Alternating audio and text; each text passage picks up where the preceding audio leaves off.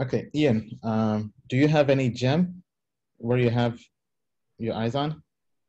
So basically, is there any project we like? So we shared this with the customers. We did a tech review on a project. Um, this was one or two months back via our customer newsletter. And it's, also on our website. If you go to tokenmetrics.com, we have a review on this project. Um, but one project that we've, we've told our customers that, that uh, it's worth keeping a very good eye on. Actually, I'll, I'll bring two projects up since, since we're here. So the first one is called The Graph, thegraph.com.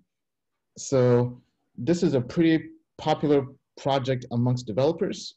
Not, we're not saying go out there and buy the token today or when it launches, because that's not our our approach, right? Uh, for, for those who know me, I'm more of a I'm more of a value investor, more, more long term. I do trade as well, but even when I, when I trade, there's swing trades over a week to a month. But from a pure technology standpoint, this is worth keeping on your radar and, and then waiting for when is a good time to get the token, right? Because when this launches, as with most tokens, it'll be pump and dump, right? So that's not the ideal way to, to get in. Now, if you can earn the token naturally through yield farming or just using their network, that's the best approach, right? Because then you aren't really putting any capital at risk. Uh, right? You aren't buying any capital. So, for example, like earning yield farming tokens when you just stake your your your, your crypto and they give you that that crypto asset.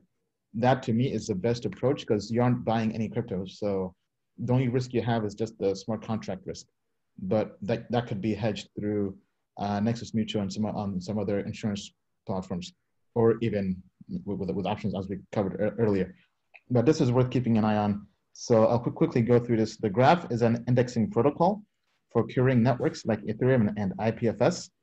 Anyone can build and publish open APIs called subgraphs, making data easily accessible.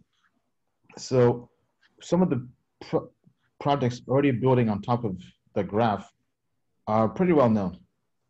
So if we just go down here to the partners, right? So Uniswap, Synthetix, Decentraland, and Aragon.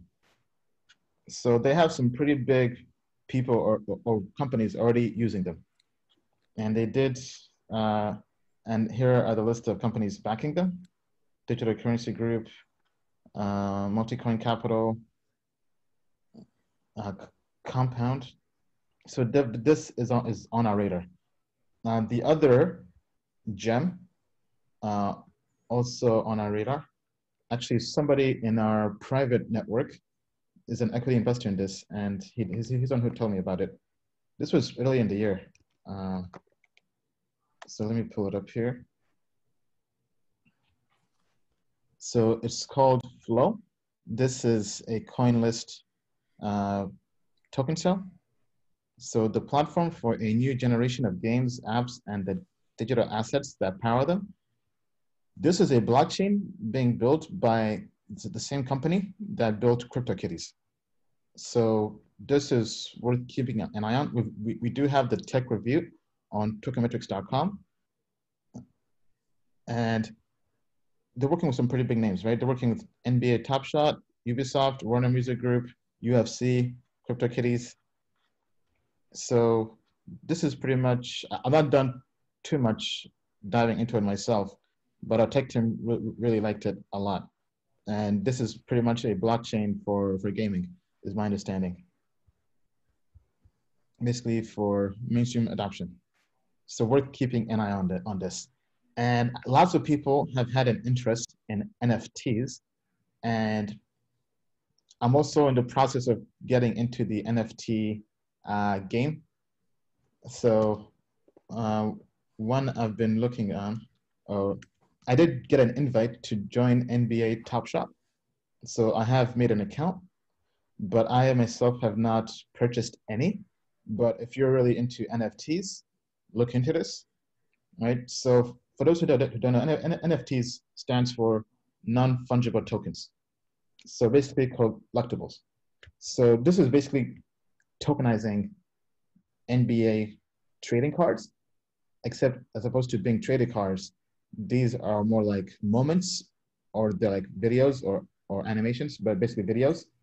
So for example, like here we have a game winner from Anthony Davis in the NBA playoffs. So they'll tokenize this and put it on a blockchain. And for anybody who's played NBA 2K uh, and knows how you collect packs for, for my team, it's pretty much like tokenize my team. Or if anybody has played Madden or like my team in Madden, anything like that, you're basically collecting cards and you can then resell them. So I've been in some Telegram groups, kind of keeping an eye on this. So they, they have what they call drops, where they drop these these NFTs and people bid to, to I mean, sorry, people buy them and they sell out pretty fast. Because I've been getting emails like the last one I saw sold out in, in less than one hour. So they'll have limited amounts. So let's say, for example, they'll have this Luka Magic NFT of him doing this move. Let's say they'll have, uh, I don't know, a thousand or two thousand of them. People go there, uh, they, they announce the drop, people buy, and then people resell them on marketplaces. Uh, for example, if we go here to the marketplace, let's see what, so this LeBron James pack is going for 83 bucks. Uh, maybe we, this is, actually my first time going to the marketplace here. Um, let's do,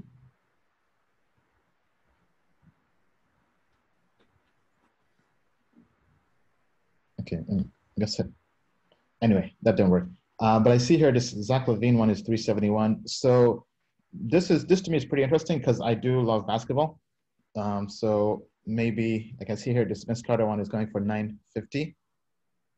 Right, so it'll, it'll, be pretty cool to maybe kind of get into it. I still haven't pulled the trigger yet to, to buy any any of the other packs, but uh, to answer your question, those are the projects that I have an interest in um, that I think could be possible gems. Uh, Bill, uh, any comments on any of that? You know, I really like this idea, um, particularly if we're sort of in this sort of depressed economic environment of using crypto and blockchain to create something uplifting like basketball cards, right? So I love that part of it. Uh, what I don't want to see is people using this stuff for collateral in DeFi. okay, that the, I don't want to see. The lending. NFT. Yeah, lending? right. So that that that becomes the subprime lending of crypto. No. okay. Yeah. So have ha, have a great time. Have a great time with the collectibles, but don't be borrowing money against your Pokemon cards. yeah, because actually, I was uh, hearing about that uh, this week. I think BitBoy or Elliot Elliot made a video on that, uh, and there's some platforms that yeah, I think it's pretty crazy. Um, yeah, uh, but if you think about it though, and on what I guess in other markets, people borrow money on art, right? Like like the super wealthy, they have like a they, they have tens of millions or hundreds of millions in art. They can borrow versus that, but obviously that's not like Pokemon per se, right? Uh, yeah, I mean, uh, interesting times we're in in crypto. People are, are dying laughing from those comments. All right. Okay. All right. So tell us what you think. Uh, are you bullish on, on, any of those projects? So we covered uh, Flow, we covered the Graph, we covered uh, NBA Top Shot for NFTs. That's one I have an interest in. Um, but yeah, tell us what you think down in the comments below.